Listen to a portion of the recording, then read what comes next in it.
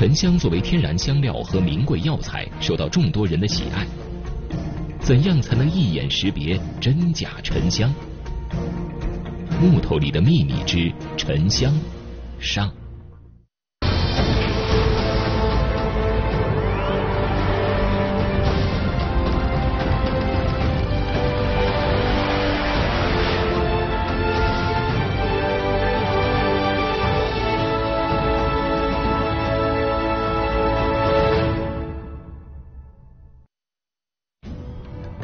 这是位于海口市老码头的中国香料第一街。进入香街里面，街道两边全是售卖沉香的店铺。如今，沉香的价格都是以克计算，从几元到几千元一克不等。差一点的沉香，几元、十几元一克；好的，要上千元一克。是老鼎，老鼎。就是年头比较长的了，比刚才那个要强点了。这这怎么卖呀？你看它，一万一公斤。它这个，它这个就是比那个颜色重点了，接油接的稍微好点了。厚点啊。哎，其实跟那个都是大同小异，是一样的。那那个多少钱啊？那就是四千。像这样的串多少钱呀？呃，这个也几千块。嗯，不要四五千了啊！几千块钱。海南的木是非常难呃开串成手串的，所以我们存的话也是比较少。嗯，普通沉香的价格以贵比黄金，顶级沉香的价格甚至比钻石还贵，这样的价格让人非常吃惊。现在好的多少钱一克呀？哎，有一万多块一克的，有大概几千一块，要看年份、看人量、看温度，嗯，看香。那么，沉香到底有何好处，以致价格贵到如此地步？可是专家的话更让我们吃惊。专家告诉我们，市场上很大一部分沉香的文玩制品，竟然都是假冒伪劣产品。这个如果是真沉香的话，一百块钱一克不太便宜。能沉水了啊？对呀，能沉水，一百块钱一克，那也忒便宜了。而且，而且。管这叫树心牛啊？这就是假的嘞，而且你看它这。是吗？管它叫什么？树心牛。我以为卖筷子呢。这是哪里的呀？缅甸的香咯，缅甸的很香的。很多国家都产沉香，来自众多产地的沉香有何区别？怎样才能一眼就识别出真假沉香呢？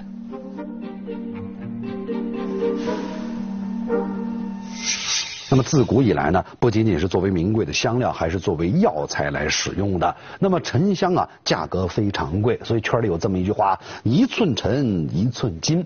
这个寸金到了什么概念呢？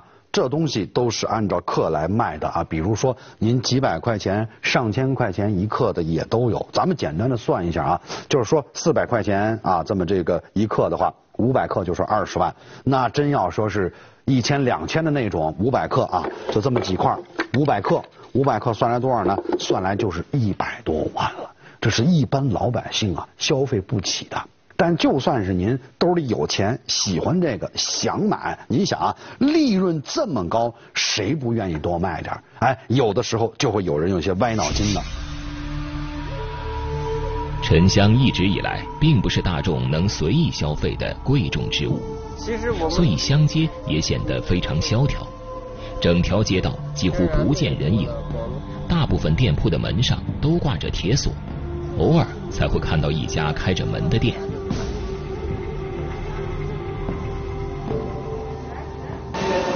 是板头，那个是镜面，板头就是锯面的。镜面。这是天然的。哎，天然这是。这不是品质好好坏呀？的。品质在中下。那个。下。低档货来。低档货。低档货。像这种呢？这种就是，这种是比较年限可能在三十年左右。他呢说三十年，按我看呢，能结十年就不错了。这上边没画吧？嗯，没有画，都是有啊。都是有啊。看，你看这个这个木头。刘家祥研究沉香已有十几年的时间，他的问话中很多都是有深意的。刘家祥为何有此疑问呢？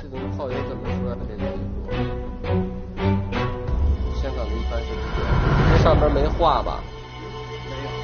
你这上边没画吧？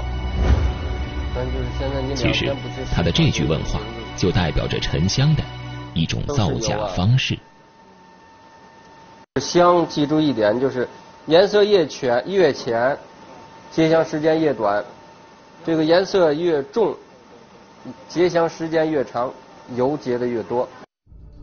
通常，沉香颜色越黑，代表品质越好，所以不法商贩就会把颜色发白较差的沉香，利用各种方式变成深颜色，看起来像是品质较好的沉香。这一块沉香就是利用这种方式来造假的。现在还有这个给你抹黑的、染黑的也有。像这种就是它本身太差了，然后他们这是用他们烫出来的，把这个弄小铁铁丝啊什么的东西，把它烧红了、烧热了之后给烫糊了、烫出来的，然后还有拿笔描出来的。把它描黑，这种作假就是以次充好，然后它搁在一大堆的香材里边，你不注意可能就挑不出来，就把它。比如说这种香材，它没作假之前可能值五块钱一克，它把它染成这么黑以后，最少得是，比如说如果这块是海南的也好哪的，它几十块钱、上百块钱一克了。造假的目的就是为了高额利润。不值钱的低档货，这样一变，身价就几十倍的增长。而且，在一堆好的沉香中，只夹杂着几块这种造假的沉香，就会让人真假难辨。这是原料上的一种以次充好方式。在市场上，我们还发现一种手串，跟原料涂黑的造假有异曲同工之处。包括这儿，这种这是高抛的。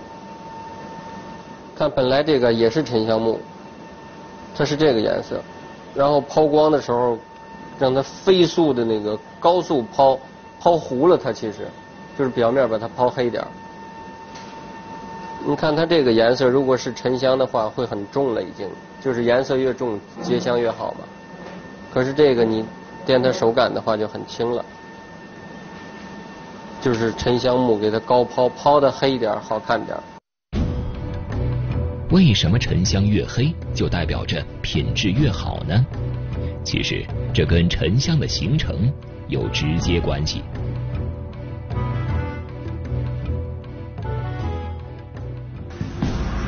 沉香的形成主要是沉香树因病变或者有伤口而开始结香，然后要经历漫长的生长期，至少需要几年至十几年的时间。而一块优质的沉香要数十年甚至上百年才能形成。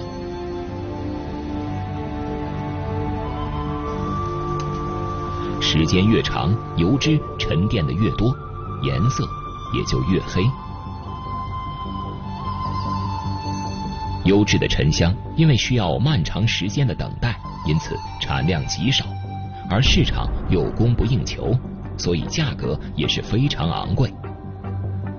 诚信的商家一般都会告知消费者，所选的沉香品质是好是坏。不过这个还真的是不行，那块真的是有那个。它是也有，你如果你破坏它的，这个这个这个是花心木。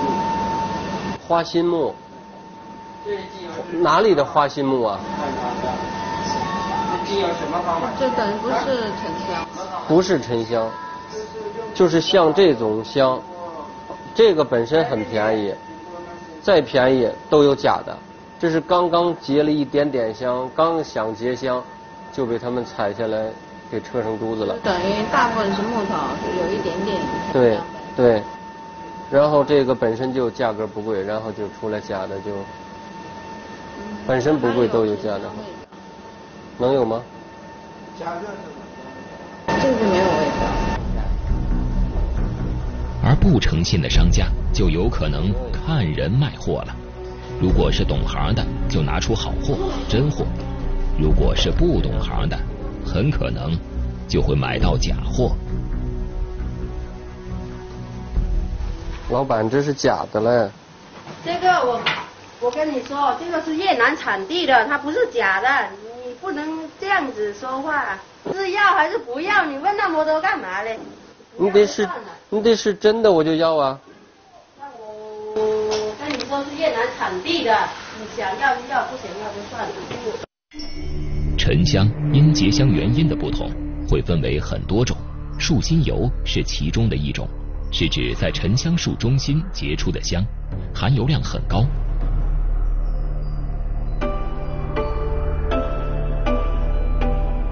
在这个店中，这种被称为来自缅甸的树心油只卖一百元一克，而这些是产自广东的树心油，通常市面上要价两千多元一克。这两种树心油从形状和价钱上都有很大的差别。而且这叫树心油啊？这就是假的呢，有人卖筷子呢。在另外一家店里，当我们问店里最好的沉香是什么时，店主给我们拿出的也是产自海南的树心油，却要两千多元一克。两千多一克，什么样的呀？给我们看看呗。有好香啊，他这。这是香港的。什么是沉香啊？沉香就只能沉水的香，就叫沉香。不能沉水吗？能沉水。可以沉水。这块质量就很好了，结得很实。是量沉。这块就沉水。这是哪？他说是秒沉。秒沉。就是很快能沉下去，就是比重比水要大，比较多一点。古代只有沉水的香才能称之为沉香，所以看沉香沉不沉水，也是辨别沉香品质好坏、价格高低的一种方法。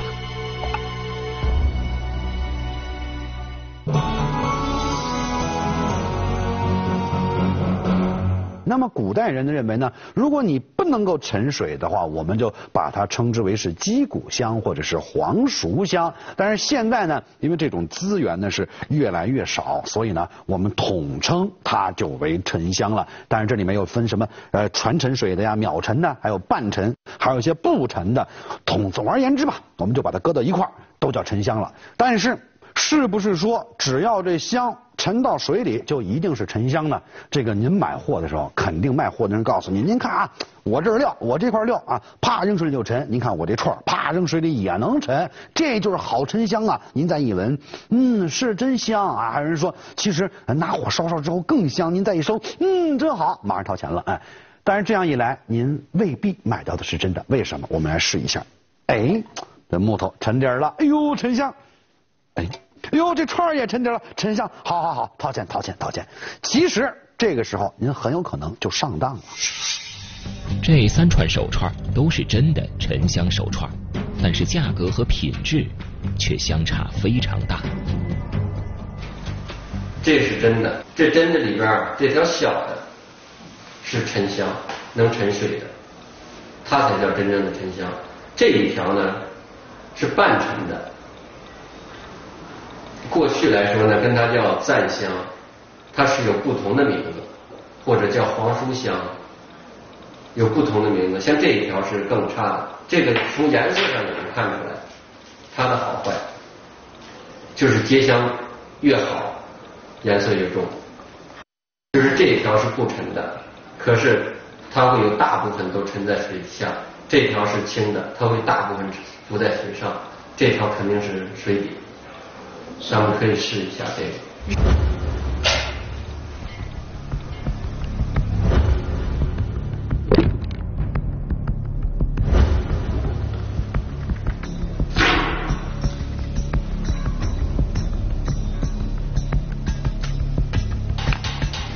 造假者通常都是为了获取暴利，所以假的沉香制品大部分都是沉水的，这种假沉香被称为石头沉。顾名思义，这样的沉香像石头一样沉，所以放入水中一定是沉底的。就像石头一样那么重的，其实它是用这个沉香木给它高温高压加胶。最早的这个石头沉的，里边搁那个石油那个沥青，给它压进去，要这个黑的这个颜色。曾经我碰到过一个人，然后他在某个地方。有人给他这种假的这种石头尘，让他天天沏水喝，所以这个假东西是很害人的。我说你能现在我能见到你就不错了，因为他这是用胶高温高压把它压实了，因为沉香木又松又软嘛，嗯，把它压实了，然后再做出类似于这种各种形状，这种听声都是，这种声是，嗯，这声音都假。众多造假沉香出现的主要原因，就是因为沉香昂贵。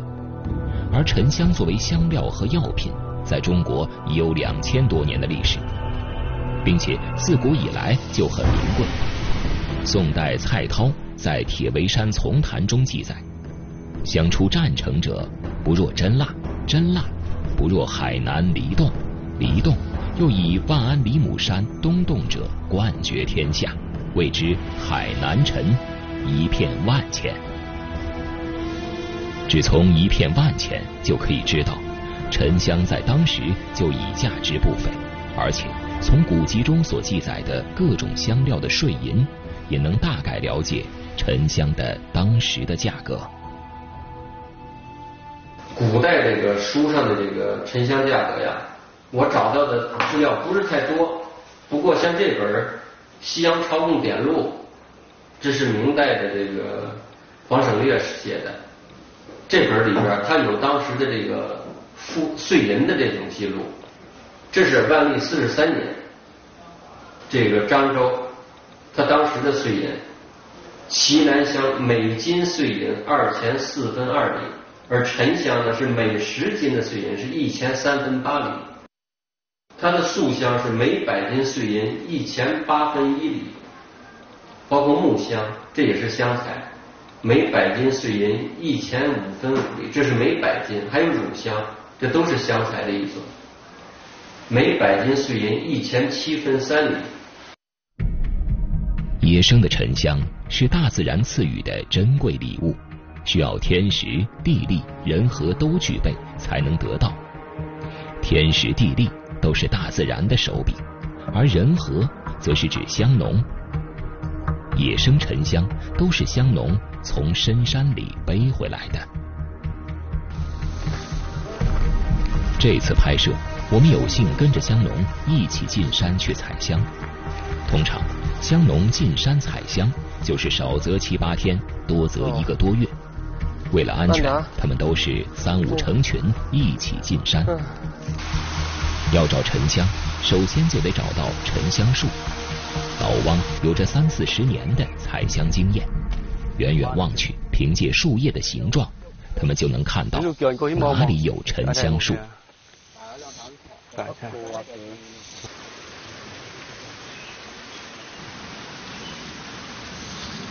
他那个树叶，你看。这边长一块，这边长一块，闪闪的。你看它远远看去，那个树叶闪闪，就是挺香。在哪里了树叶？那你看那一棵，那棵上面，那它生那个树叶，你像它这样大，它这边长一棵一块，这边长一块，这边又长一块，它闪闪不生在一起的。对面现在也能看得见吗？能看得到，我们以前很远很远都看到。你你看惯习惯看，哎，这边是沉香树。你去远远看那边哦，是哦，沉香树哦，你看远远不是像，嗯，就是这样喽。对，你看到多哎就懂喽。对，那你没有看过怎么能懂？对。哦。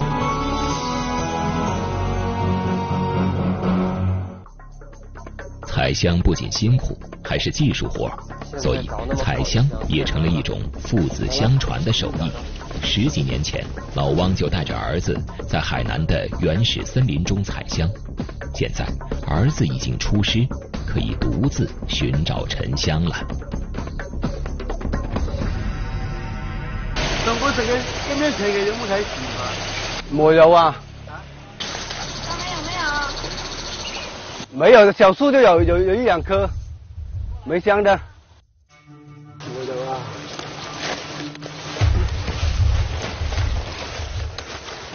若想找到好的沉香，就得进入到原始森林深处，没有经验，就可能会遇到危险。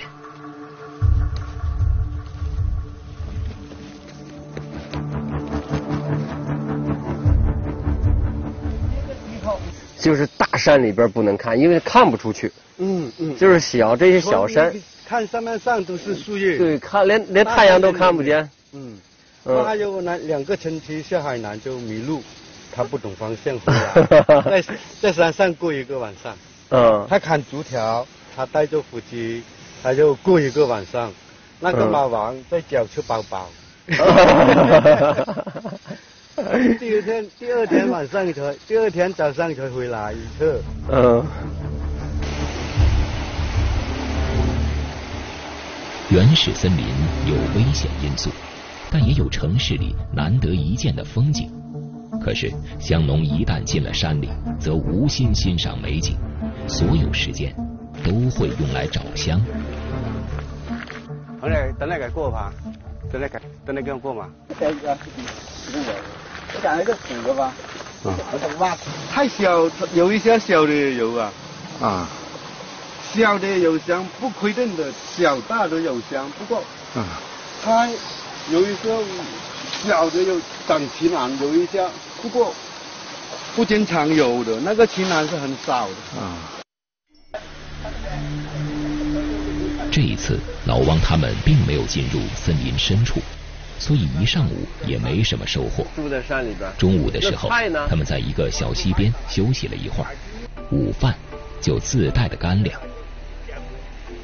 回到这个，我看咱们太费劲了。树都找不到树也少了，树也小了，大树也少了。在那边看有没有大一点的树，前面可能有。嗯。野生的东西是越来越少的。休整之后。继续开始寻找沉香之旅。这次老汪决定分头寻找沉香树。可是刚准备分开，就有一个人发现了新情况。这里有一棵树，我看一下。